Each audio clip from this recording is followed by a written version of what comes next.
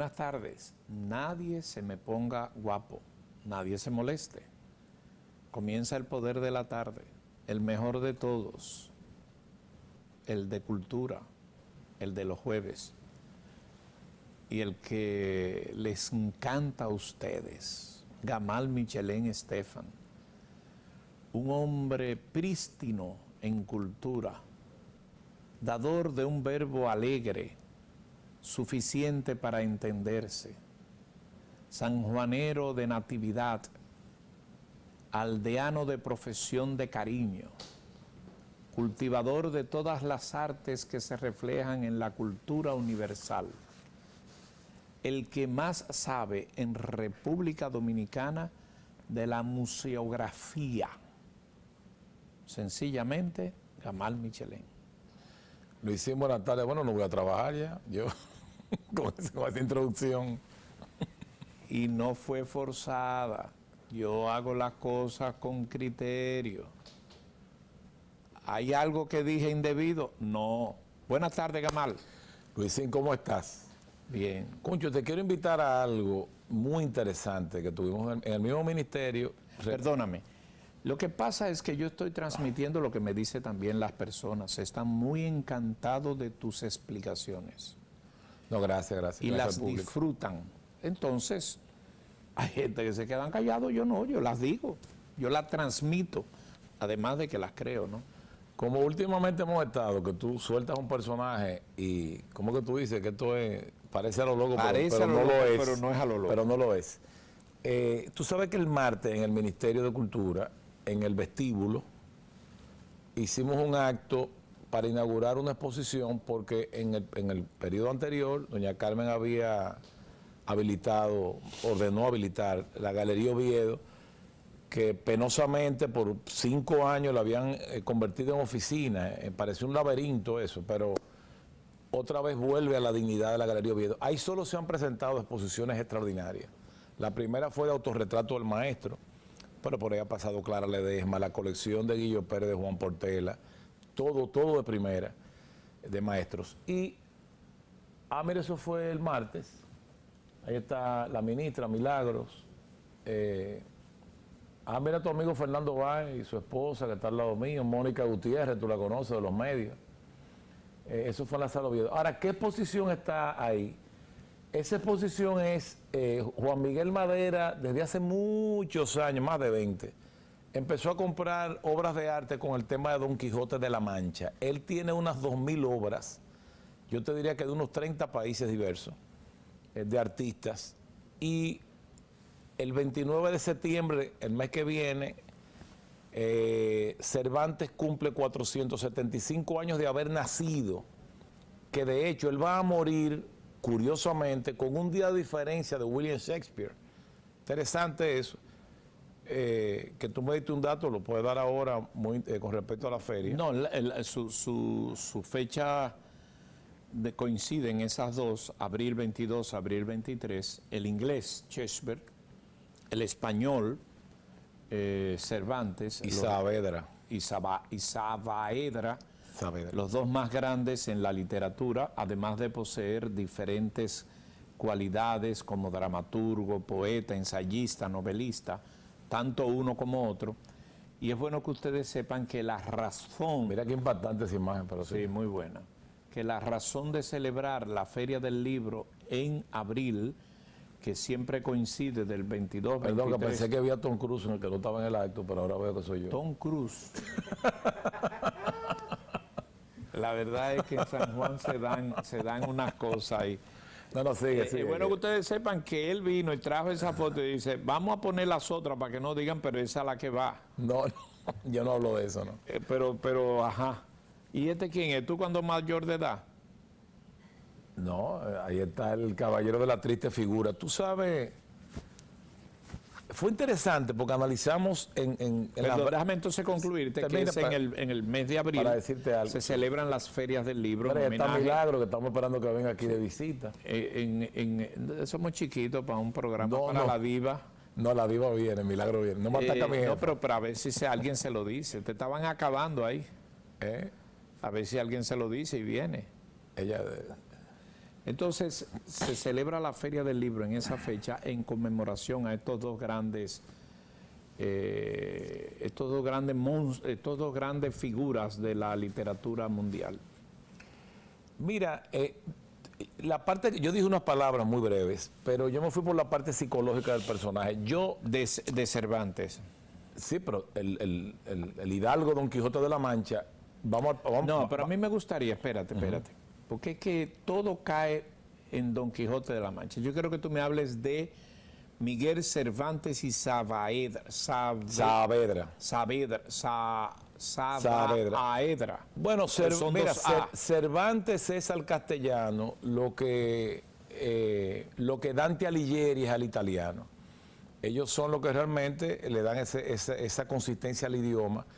Eh, con una obra distinta. Esa connotación. Esa connotación que de hecho... Y, literaria también. Le decían el manco Lepanto porque en la batalla de Lepanto él pierde, un, pierde eh, parte de un miembro, la mano, el brazo. Y el caso de Dante Alighieri, por ejemplo, que escribe la Divina Comedia. La Divina Comedia es como Don Quijote de la Mancha, relativamente un idioma al otro. Y la comparación con Shakespeare es interesante con una, por una coincidencia de su muerte o por cosas o por, los hilos que maneja la historia, de alguna manera que o es aleatoria o alguien la dirige. Pero Shakespeare es un gigante también y todo tiene la característica de conocer el, alma humana. De, si fuéramos a Shakespeare, por ejemplo, para llegar, vamos a pasar por Cervantes ahora. Eh, mi, mi obra favorita de Shakespeare, no la que más me llega al corazón, que es Romeo y Julieta, es Hamlet la profundidad de ese soliloquio de Hanley, del ser o no ser. A muchos. Es tremenda, o sea, es un, contenido... Eh, yo, creo, yo creo que Shakespeare era un asesino, mataba a todo el mundo, ahí se muere todo el mundo, son tragedias. Ahí siempre se muere Ofelia, se muere ahí se muere todo el mundo, ahí no sobrevive nadie. Está hablando de la novela de Shakespeare que... En el caso de Shakespeare son dramas, eh, pero son tragedias, tragedia. Eh, pero con unas frases tan espectaculares Pasa con Dante Alighieri, aunque yo tengo un problema ahí, eh, yo soy más débil con los poemas de Dante. Por ejemplo, ese primer soneto de la vida nueva, el primer soneto de la vida nueva, que es curioso que es usado en la película Hannibal, que hace Anthony Hopkins, el actor eh, que hace de caníbal, eh, cuando él va a la ópera, con, bueno, él va solo, pero va el comendatore, al, que, que es apellido Patsy tiene el mismo nombre y es descendiente del que mató a Giuliano de Medici. Y que una cosa terrible porque él lo mata con los intestinos afuera y lo cuelga. Pero es interesante que él le regala a la esposa un acto delictivo porque él se roba de la biblioteca eh, el soneto original y se lo regala, claro, una película, por Dios. Pero hay algo interesante en el verso, dice, ella de mi corazón comía. Entonces, fíjate, es bellísimo eso, es bellísimo. O sea, ella muerta, Beatrice eh, Portinari, que es la, mujer que amó Dante, yo creo que uno de los amores más increíbles y más grandes de toda la historia, porque Dante vio a Beatriz dos veces en su vida, fue un encuentro fugaz, y él escribe, la vi la primera vez y la amé toda la vida. Ella era una niña de 12 años y él de 14 como muchas veces pasa, él se casa con otra y ella con otro y muere joven. Entonces Beatriz recibía los salvos en el cielo. Y dice él que estando muerta Beatriz eh, comía de su corazón. Entonces, ¿cuál es la simbología? Esa película está muy bien hecha. Lamento que sea un tema tan, tan fuerte. Pero este es un caníbal que le está diciendo ella me estaba comiendo el corazón. Un, órgano humano. Un órgano humano. Eh, pero tenemos ahí eh, en Dante un tipo con una profundidad en la sensibilidad ¿Y qué pasa? Vamos a llegar a Cervantes. Señores, ese personaje de Don Quijote, primero, primero, ahora voy a tratar aquí al Quijote como si fuera un personaje real. Don Quijote no estaba loco, señores. Don Quijote no estaba loco. Él elige la locura como una alternativa al aburrimiento o al tedio. ¿A cuál tedio? Al tedio de la vida. Y se lo digo como un consejo, señores, miren, hay que deber de vez en cuando eh, no ser uno mismo. Hay que, hay que transmigrar un poco, hay que cambiar. Eh, uno no puede ser predecible todo el tiempo. Eh, hay un poema, a la gente, la gente lo ve como un poeta rosa de eso, pero a mí, yo, no cojo presión ya, a mí me gusta él. Como me gusta La Dama de la Camelia, que es una novela rosa, pero me gusta, punto. Eh, es José Ángel Buesa, que lo que privan en profundo de la poesía, no, es un poeta superficial. Yo no sé de superficial, pero a mí me llega al corazón y yo, yo no voy a coger presión, me gusta lo que me gusta. Y él habla en un poema del vulgar agobio de la rutina diaria, de las desilusiones y los aburrimientos. Oye esto, e, es, ese aburrimiento, esa cadencia de vivir, ese mito de Sísifo que Zeus lo condena a subir una piedra pesada a la cima de una montaña y la piedra se cae otra vez y la sube, y se cae otra vez y la sube. ¿Tú sabes lo que pasaste la vida subiendo una piedra? Esa es la vida de nosotros, levantarte, ir a trabajar, lavarte la cara. O sea, esta rutina diaria entonces él decide volverse loco, Luisín. La locura, como una elección, como una elección. Bueno, mira, Erasmo, en el elogio de la locura dice, eh, Dios mío, espérate, estoy buscándolo en mi cabeza, no lo, no lo recuerdo literalmente, pero él dice, dice, sé todo lo loco que tú quieras, todo lo loco que tú quieras. Lo único importante es que tú sepas que estás loco. Después la locura no importa, la locura es buena. Y yo creo que este individuo se va a lanzarse a una aventura imaginaria, a pelear con molinos de viento, con una locura. Y a ti te gusta la frase, Luisín, mucho, buscarla. Mira, hay frases de Don Quijote, hay muchas que son ya harto conocidas, como nos ladran los perros porque cabalgamos. Es una realidad eh, que no se puede discutir. Y hay otra que a mí me gusta mucho. Él le dice a Sancho una, por ejemplo, que tú lo que es el alma humana Dice Sancho, tú sabes que en ese tiempo hablaba de los hombres, genérico a todos, por una época muy machista, si fuera ahora con esto de todos y todas. Aunque yo digo todos todavía porque creo que es inclusivo. Eh, me van a, crucificar por decir eso. Él le dice, Sancho, los hombres son como Dios los hizo, pero hay hombres que salen más malos de lo que Dios lo hizo.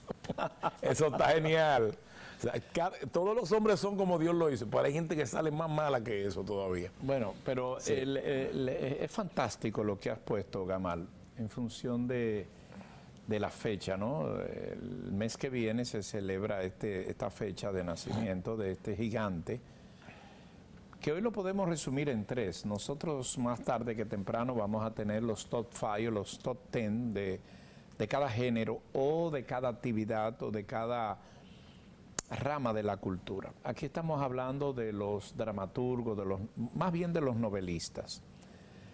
Pero Miguel Cervantes es eh, obviamente español, nació en Alcalá, en, Henares. Alcalá de Henares. De Henares.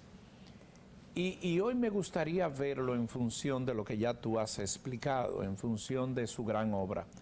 Porque al fin y al cabo, todos los grandes escritores tienen muchas obras, pero hay una que sobresale por encima de la dimensión universal. Tú citaste a Dante, a Alighieri. Alighieri, el principal italiano. Tú citaste a William Shakespeare, el principal inglés. Y has citado a Miguel Cervantes, el principal español. Pero los tres tienen tres obras que no hay ni siquiera que discutir la Divina Comedia, ¿verdad? Eh, Romeo y Julieta, ¿verdad? Y Don Quijote de la Mancha, ¿verdad? O sea, tú puedes, sin hacer concursos, citarla y la gente te van a decir quiénes son los autores. Es como 100 años de soledad, que evidentemente te va... Bueno, Víctor Hugo en Francia, dos obras, Los Miserables y, dos obras, Nuestra Señora de París. No, los Les Miserables. Eh, eh, una obra extraordinaria. Que está en tres tomos o en dos de, los bien condensados. Ahora, quedándonos conservantes, hay forma de catalogar y quedándonos con tres, la Divina Comedia, eh, en el caso de, la, Mancha y, y, Romeo Julieta. No, pero en el caso de Shakespeare son muchas obras importantes. No, muchas no, 100. Digo, no tanta, pero. Sí, sí, sí. Ahora, de esas tres. Que es de esas tres. ¿Cuál tiene más impacto universal? Las tres la tienen, pero de las tres, ¿a quién podemos situar? Vamos a arriesgarnos, no te preocupes, van a criticar ahí afuera. No hablemos, no importa lo que la gente. en el contexto de afianzar un idioma, yo te pondría Don Quijote, no porque es en castellano.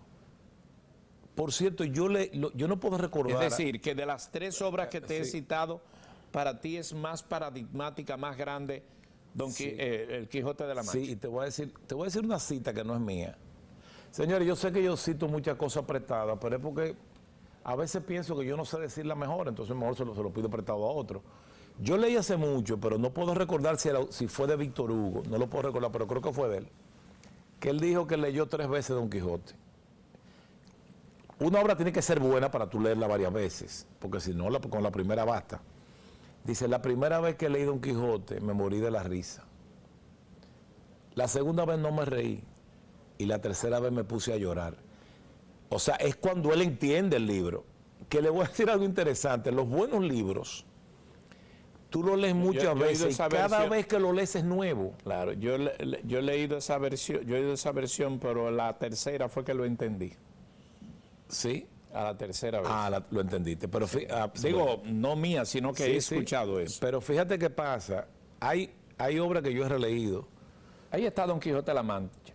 Yo quiero, director, ver las imágenes de quién fue, eh, una foto de él, de Shakespeare y de, y, de Dante. Perdón, te interrumpí. Y mira el comienzo, la razón de la sin razón, la razón de la sin razón que a mi razón se hace. Eso es la, en la sin razón hay una razón. No está tan loco el que tú crees que está loco.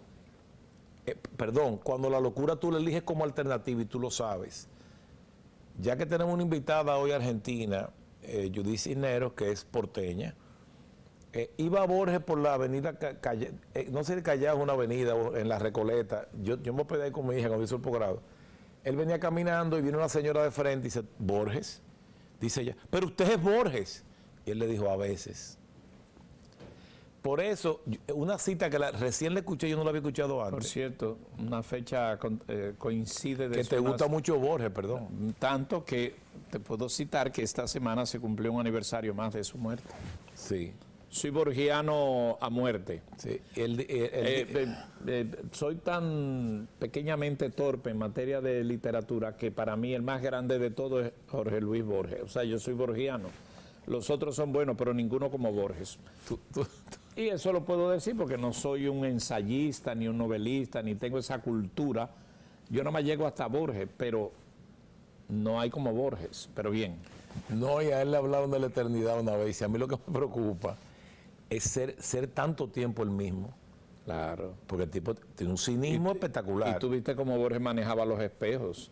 Sí, no, no, no. Lo de Borges era. Y, y finalmente hubo que, aquí están, mira, los personajes, Gamal, del que estamos hablando. Ese no es de que estamos hablando, de Borges, porque Borges nada más lo entendía María Kodama por momentos, que era su asistente y terminó siendo su compañera. Pero bueno, de Cervantes estamos entonces celebrando la sema- en el mes de septiembre. eh, 1547. ¿Qué figura más grande, Miguel Sí, Cervantes? pero mira qué pasa, que Juan Miguel Madera tiene una colección y él va a hacer muchas. Viene una el 10, yo estoy el 10 saliendo para Madrid. Pero el mismo 10, eh, eso lo apoyó Carolina Mejía, nuestra flamante alcaldesa y querida amiga. Eh, Carolina la apoyó y va a hacer una exposición en Montesinos, si tú puedes verla. Eh, tiene, tiene muchas exposiciones de Don Quijote a la vez, o sea, en este año, conmemorando esa fecha.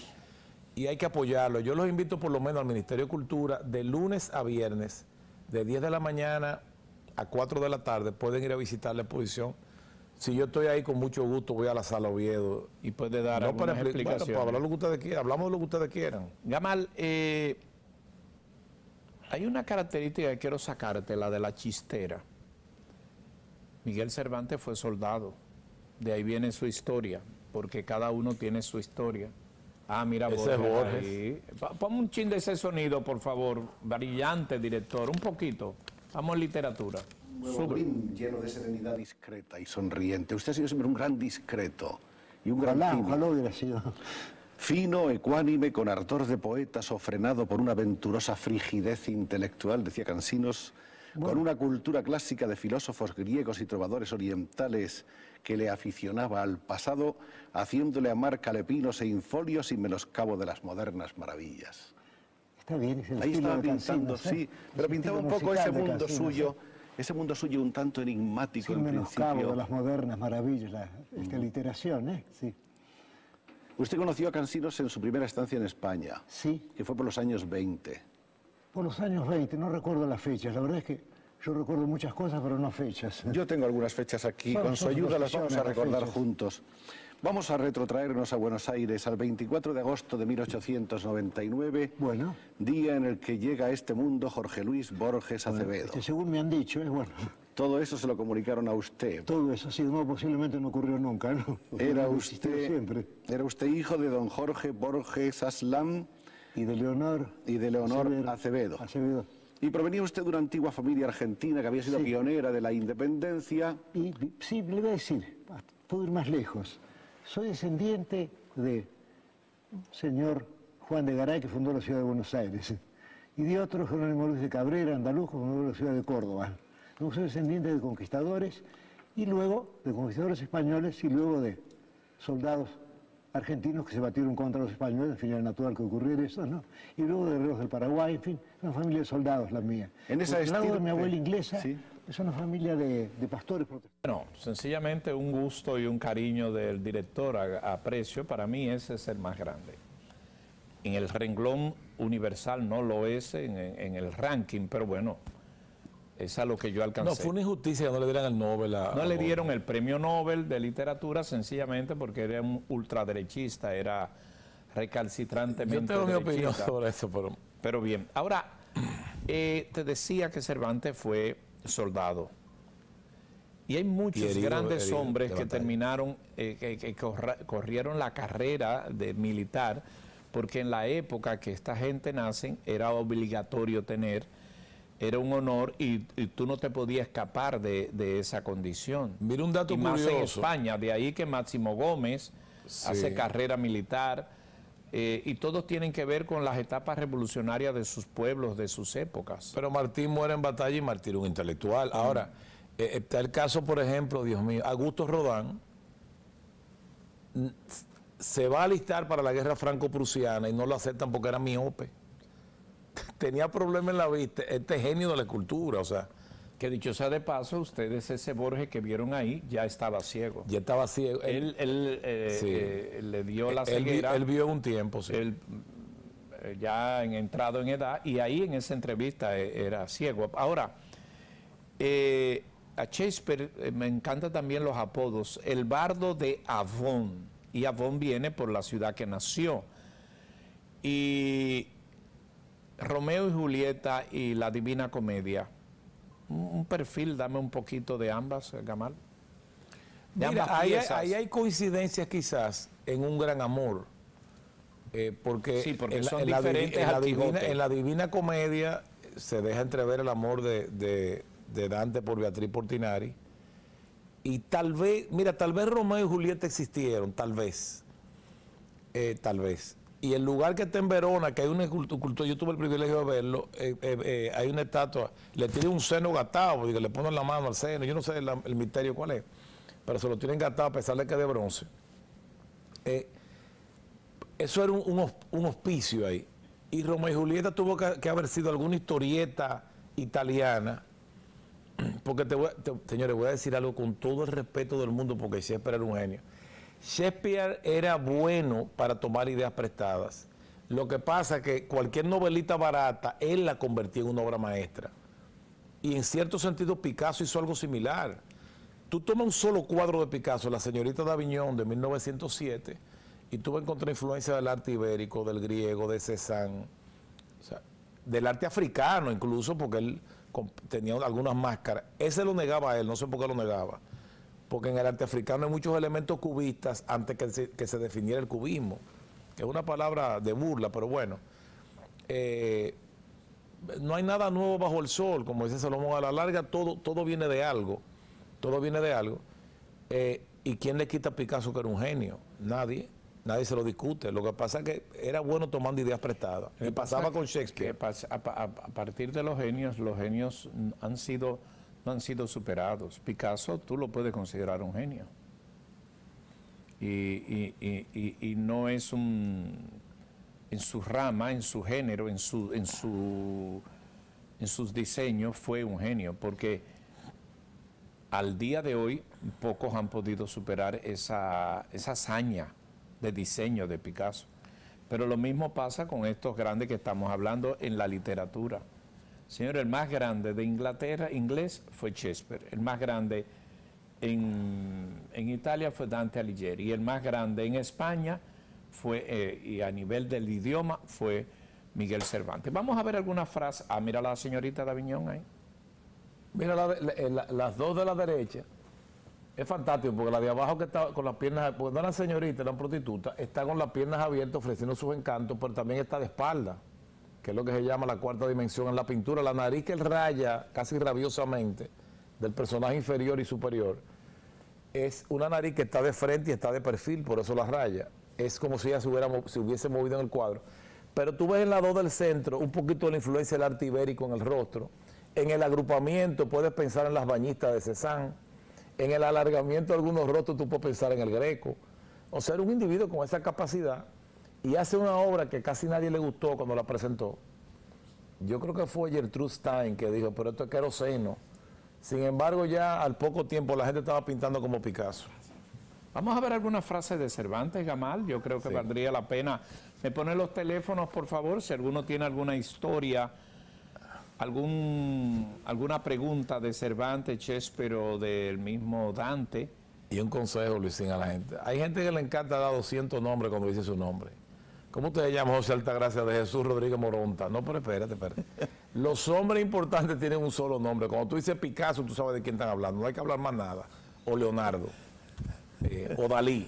O sea Son que cuatro letras te- y ya. no cuando te suficiente. llame que te digan Gamal. Que no diga tanto nombre. No, yo no, yo soy lo de menos. Confío en el tiempo que suele dar dulces salidas a muchas amargas La gran verdad. So- No, no, te- ahí van, mira, ahí hay, eh, eh, Cervantes son de lo que tiene como 70 frases y una supera a la otra. Ahora, esa es buena, Gamal. El tiempo, dale tiempo al tiempo. Suele dar dulce salida a muchas amargas dificultades. Qué gran verdad, dijo Cervantes. Vamos a otra, director. Y el diseño, una retirada no es una derrota. Muy- Esa sí es buena, grande. Muy buena. Esa sí es grande en Cervantes. Una retirada no es una derrota. Eso, es pa- eso tiene vigencia hoy día, pero mucha vigencia. A veces bueno una retirada. sobre todo para la gente guapa. Para volver. Y sobre todo para los, Los que se apresuran. los que se apresuran. Pero me- él me tiene que dar la, la más genial. Yo creo que me la tiene ahí. No ames lo que eres, sino lo que puedes llegar a ser. Es un gran estímulo. Para que tú te dejes de ese, de ese ego y de ese friends que te hace saber. Y me gusta que está con la firma. Eh, genial ese. Genial. No, no, déjame el anterior. La falta de sexo a largo plazo convierte a una persona, punto suspensivo. ¿Qué habrá querido decir Gamal? ¿Cómo que qué? ¿Qué habrá querido No, decir? pero pone, la- la- pone lo siguiente. No, pero vamos a ver. Puede siga. ser un lobo estepario, sería bueno. Te fuiste, te- casi está llegando a Herman Hayes. Vamos a ver la siguiente. No hay camino que no se acabe si no se le opone la pereza. Obvio. Pues, La ¿tú sabes- pereza, la pereza, es lo- mira, está buena esa. Pero tú sabes por qué él, él hace, establece eso. Porque hay gente que antes de comenzar a caminar comienzan a poner pero. Ya, no está, ya pereza. está cansado. Sí, no pereza, que es algo parecido, pero no es un pero, porque la pereza es con Z. Pero hay ciudadanos que antes de comenzar ya están entregados y no debe de ser. ¿No es así, Judith? Vamos a la siguiente. La libertad, ah, esa está el director. Deme la siguiente, director, que esa yo no le la pasé. Ese es muy bueno, ese es de la Ah, famosa. No, ¿eh? esa es.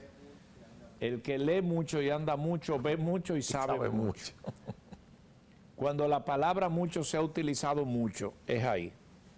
Se utilizó cuatro veces. No, eso, eso es redundancia, cacofonía, pero es válida. Oh, pero claro. Y se la hizo Cervantes, ¿cómo tú lo vas a Como? Abenámar, Abenámar, moro de la morería. Siguiente. Ay, Mira, eso es muy bueno. ay, ahí se la comió no, no tiene desperdicio. La ingratitud es hija de la soberbia. El ingrato. El ingrato soberbio. Eh, pero además, la ingratitud es hija de los farsantes. Esa anótamela a mí, pero, No hay gente que olvida. oh, pero todos Los favores son recibidos. unos ingratos, unos bandidos. Siguiente. Ya lo dimos eso. Confía en el tiempo que suele dar. Para alcanzar lo imposible uno debe intentar lo absurdo. Tú sabes que Cervantes siempre fue un motivador, ¿eh? Y él veía un poco más allá. Y si tú analizas en la profundidad de la historia de Sancho en el Don Quijote, es siempre un estímulo a llegar. Y no importa lo que te digan, tú siempre estás ahí. Esa frase tiene que ver, sale de ahí. Para alcanzar lo imposible, uno debe intentar. Acuérdate cuando se hizo la película Don Ahí, Quijote. ahí falta hasta lo absurdo. que el tema era ese. Sí. Llegar donde nadie llegó a vencer. Correcto. Un invicto rival. Siguiente. Ah, esta sí. La música compone los ánimos descompuestos y alivia los trabajos que nacen del espíritu. Fantástico. Ahí, ahí te das cuenta tú el papel, el espíritu de la música, cómo los grandes siempre tenían en la música su mejor expresión. Y la tenían como un amuleto, pero como un alimento de espíritu, ¿no? Siguiente. Si alguien de los televidentes, los teléfonos, estamos realmente en tiempo, re- realmente en tiempo real, y otra cacofonía. Pueden llamar, pueden llamar, ah, lo quitaron el teléfono. La verdad delgaza y no quiebra, siempre anda sobre la mentira, como el aceite sobre Que no el se agua. juntan. No, y la verdad es El la aceite verdad. y el agua, sí. Y no hay, no hay, no, eh, dicen que el tiempo pone la verdad sobre la mesa, pero la verdad siempre ha sido la verdad. Sí, o que no se puede engañar a toda la humanidad todo el tiempo. Tú lo puedes hacer una parte del tiempo. Y tú no puedes seguir siendo un bandido todo el tiempo hasta que obviamente te descubren. Siguiente. La pluma es la lengua de la mente. Excelente. No, esa es de su sello. Mira, ahí están los teléfonos nuestros. Pueden llamar, que después pasaremos a una segunda sección. Tenemos un invitado de lujo hoy. Y nos sí. quedan cinco minutos para eso. Sí. Siguiente. Más vale la pena en el rostro que la mancha en el corazón. Mira, tú estás entendiendo. No hay desperdicio. Una mancha en el corazón es peor, más vale la pena en el rostro. Es decir, tú adusto lo que tú reflejas que tener un dolor en el corazón. Fíjate la mancha un en, Ma- encono. en Macbeth, que se lavaba la mano y siempre veía sangre. Sí. O sea, eh, ya eso es Shakespeare, pero Shakespeare trabajó mucho con la culpa. Igual que Dostoyevsky, por ejemplo, en novelas como Crimen y Castigo, o Los Hermanos Karamazov. Sí. Podemos ya volver, no sé. Bueno, ahí está ya la imagen de, de Sancho. Qué interesante. Del Hidalgo. sí. El Hidalgo. ¿A ti te, te fascinó la obra de Don Quijote? ¿Por qué? A mí me gusta y eh, eh, yo creo que está llena de, de pensamientos de sabiduría. Yo, yo creo un poquito en una dosis de locura en el ser humano, me agrada eso. Que es el lema, el- es la esencia de la película Sorba el griego, que tiene unos diálogos sin desperdicio. Sea, lo, que cuando yo, yo cito mucho esto porque me gusta, es otra cosa que en la cabeza mía no encuentro otra cita mejor. Eh, esa, esa escena final que él le dice a, eh, a Basil, su jefe, Sorba es Anthony Quinn, ese actor, eh, jefe, jefe, le dice él, es- espera, está buscando, Alan Bates, el actor, Alan Bates, le dice, jefe, usted es un hombre dichoso, lo voy a decir con mis palabras, pues, yo vi esa película hace muchos años, Eh, a usted Dios se lo dio todo, usted es un hombre joven, bien parecido, rico, pero le negó una sola cosa a Dios, la locura. Y dice, y un hombre no puede vivir sin un poco de locura. Vi una entrevista a Anthony Quinn hace tiempo, donde él aclara que aunque lo que dice en la película es, Sorba, enséñame a bailar, teach me to dance. Dice, no, no, no, pero la idea no era esa, la idea era enséñame a vivir. Y se cambia. O sea, me hace falta locura, entonces enséñame a vivir. Lo que le está diciendo es, yo no he sabido vivir. Eh, ah, bueno, mira, me recordé una canción que la canta Julio Iglesias, me olvidé de vivir. Mira, eso es terrible, me, olvidé de vivir. Y, y quizá todos, y quizá todos, Luisín, descubrimos eso alguna vez cuando pasan los años. Concha, se me pasó el tiempo y me olvidé de vivir. Me olvidé de vivir. Eh, hay canciones también que hacen a los artistas los más grandes de todos. Tú dices, me olvidé de vivir y eso da Julio Iglesias. Que él sigue viviendo y no tiene fecha de término, porque hay personas que se hacen así, se hacen querer, cantar, exponer. Pero bueno, Bueno, Gamal, creo que hemos completado esta primera parte del programa y hemos completado este segmento. Siempre con el cariño y la intención de hacer esta conversación sobre términos de lo que es la literatura, sobre lo que son los artistas, sobre lo que son los grandes exponentes de las mejores artes, de la mejor tiempo de cultura. Y, pienso que siempre será ocasión para recordar a esas figuras. Hoy lo hemos hecho primordialmente con Miguel Cervantes de Saavedra, por su obra, por su coincidencia en el mes de septiembre, por la exposición que habrá aquí, pero sin dejar de mencionar a, Dante Alighieri y, a William Shakespeare. Vamos a traer a Juan Miguel Madera, hay tiempo, eh, para que él Oye, tiene casi dos mil obras con el tema de Don Quijote, mucho. Nos vamos a la pausa, vamos a regresar. Esto es el poder de la tarde cultural.